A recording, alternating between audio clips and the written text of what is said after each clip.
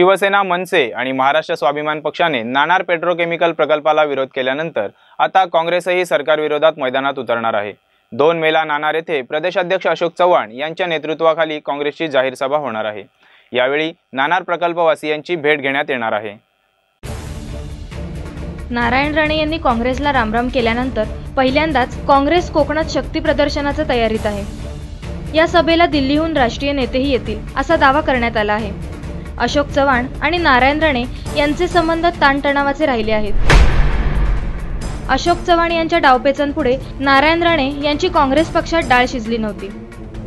कैलासवासी विलासराव देशमुख मुख्यमंत्री पदावरून पाय उतार झाल्यावर नारायण राणे यांनी मुख्यमंत्री पदासाठी जोरदार प्रयत्न केले होते. पण अशोक चव्हाण यांनी अतिशय गुप्तपणे ऐनवेळी विलासरावांशी हातमिळवणी करून मुख्यमंत्रीपद पटकावले होते.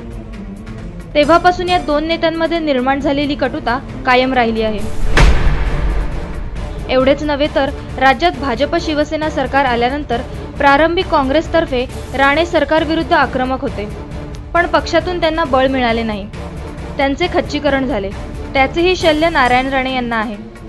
त्यामुळे अशोक चव्हाण आणि काँग्रेसच्या मेळाव्याचे स्वागत नारायण राणे आपल्या होमपिचवर कसे करतात याकडे राजकीय निरीक्षकांचे लक्ष लागले आहे.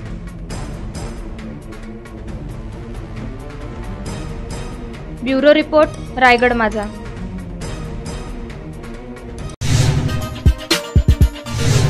बेल ऐकन दाबा आणि यासारख्या इतर बातम्या बघण्यासाठी आमच्या चॅनलला सबस्क्राईब करायला विसरू नका.